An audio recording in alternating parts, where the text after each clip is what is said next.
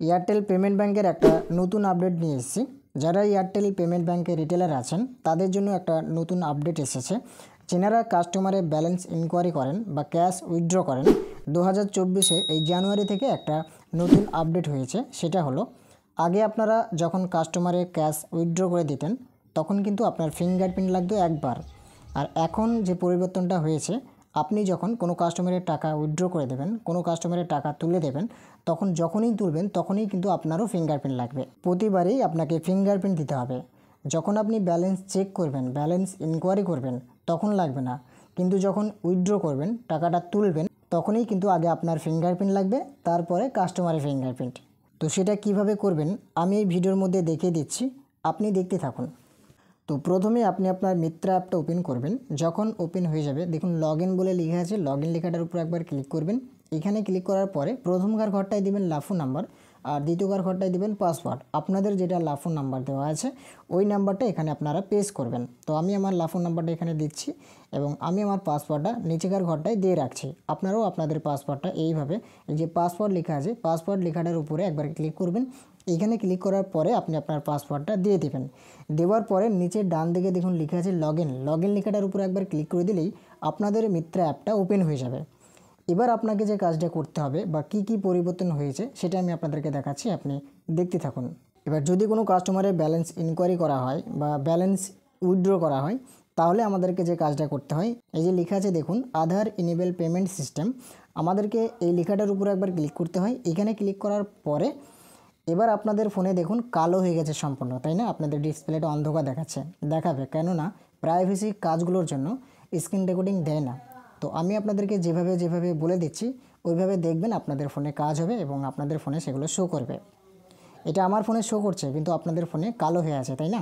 কালো হবে যেহেতু প্রাইভেসি সেটিং যার জন্য দেখাচ্ছে না। তো আধার ইনেবল পেমেন্ট সিস্টেমে ক্লিক করার পরে যে লেখাগুলো আছে, আমি আপনাকে বলছি, আপনি আপনার ফোনে দেখবেন, দেখতে পাবেন।